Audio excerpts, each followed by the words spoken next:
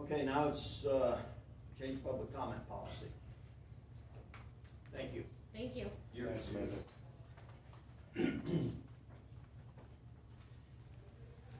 I have a motion to approve the change of, uh, policy for comments.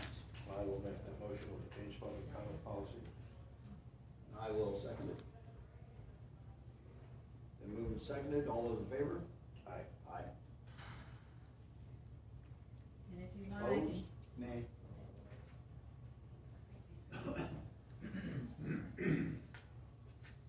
I can write up, uh, what you propose and have it signed for you, ready for you to sign next week.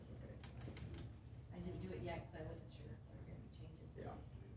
Okay, thank you. Mhm. Yeah, it did. Looked like pulling directly on us either. Laura, do you want this signed? Yes. Yeah, I've got. And here's one, on mm-hmm. official, her official Sign here. letterhead. Oh. that she gave me. Are we, is that the same thing I have? Yep. There you go. We've got four copies. Of this. How many more do you need? have extra. We only need two copies, right? Right. This is the official one. then so it's I even can put one in the improved. minutes. Can I, can I ask a question?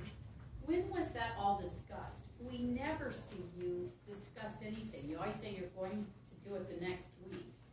And we never see anything brought up or discussed. You just come in, it's typed up, you pass it. When, when was this all discussed as, as a group? She brought it, she came, actually came in quite some time ago. She who? No, I'm talking about the public comment. Oh, oh